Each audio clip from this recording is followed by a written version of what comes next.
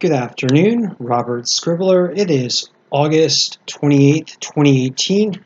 Thank you for joining me for another climate change and clean energy video blog. Now for this segment, I am going to talk about how the Hawaiian Islands presently is not out of the woods yet after a rather catastrophic or extreme rainfall event associated with Hurricane Lane that dumped more than 50 inches of rain over parts of the big island of Hawaii.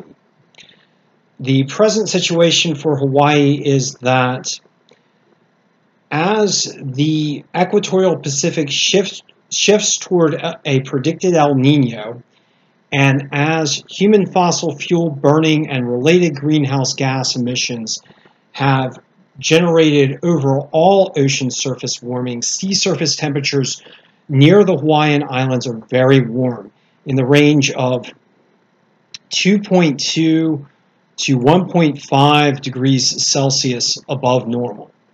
These warmer than normal sea surface temperatures are generating quite a bit of atmospheric moisture through evaporation, which is creating a large plume of moisture surrounding the Hawaiian Islands and tending to provide fuel for any rainstorms triggered by tropical systems or instabilities. Plus, the prevailing winds on the eastern side of the islands are helping to pile up clouds and storms on the facing mountains.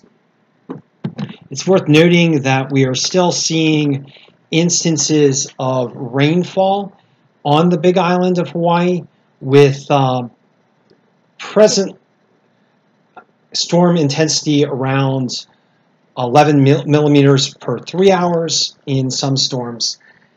Uh, let me move Quincy here. Um, so, so what we're seeing is is generally a, a prevailing tendency for storms to form due to high atmospheric moisture loading.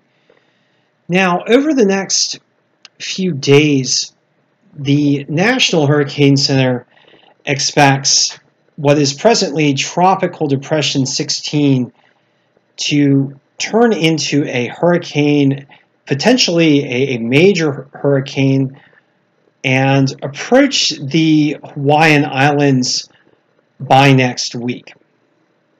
Looking at longer term model runs, the Euro model shows a tropical cyclone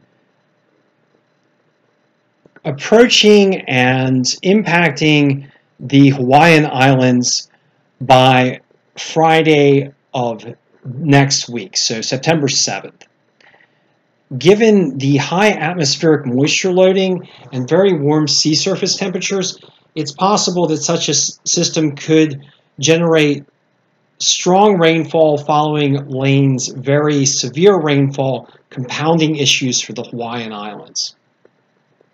It's also worth noting that climatologically, as the Earth warms, storm tracks tend to move closer to Hawaii, with recent climate science showing that during mid-range and, and worst-case fossil fuel emission scenarios for this century, the tropical systems track either 8% or 15% more near Hawaii. So, so you have a, a an 8% to 50 15% greater prevalence of tropical cyclone tracks moving toward Hawaii on an RCP 4.5 versus or RCP 8.5 emission scenarios. So tamping down and eventually reducing fossil fuel based carbon emissions to zero reduces potential future impacts for Hawaii as a result of, of tropical cyclones.